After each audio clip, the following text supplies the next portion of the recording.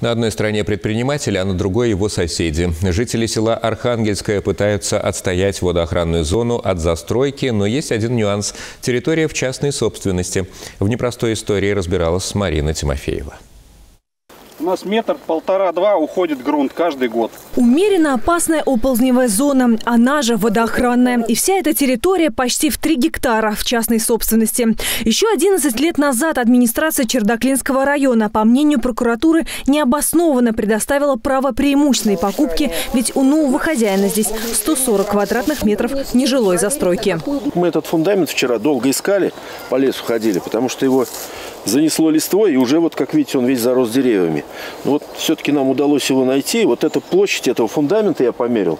30 квадратных метров. И если районный суд встал на сторону людей, то областной еще в 2015 нарушений в действиях администрации не нашел. Единственное требование осталось без изменений. Вид использования земли заменить сведение дачного хозяйства на размещение зоны отдыха. И ответственность за это возложили на главу Мирновского сельского поселения.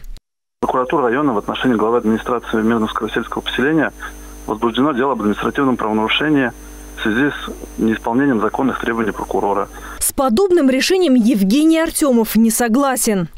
Мы не кадастр, чтобы заниматься внесением изменений.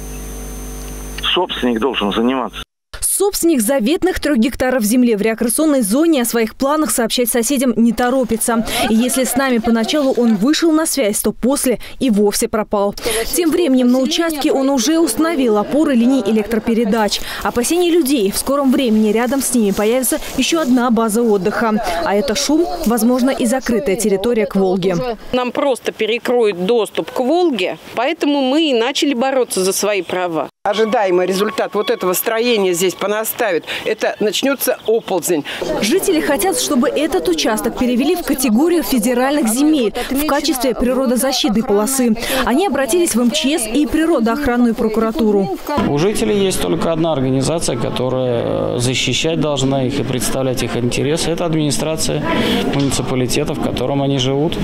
Это интересы этой администрации. Соответственно, им нужно эту администрацию заставлять работать вплоть до изъятия этого земельного участка, если эксплуатация этого земельного участка угрожает их безопасности, как они считают. Жалобы, обращения в различные инстанции и надзорные органы. На руках и решение суда. На одной стороне собственник, на другой жители села Архангельского. История за право использовать свою территорию и за право комфортной жизни длится десятки лет. И финал явно не скоро. Однако сельчане настроены стоять до победного, но пока закон не на их стороне.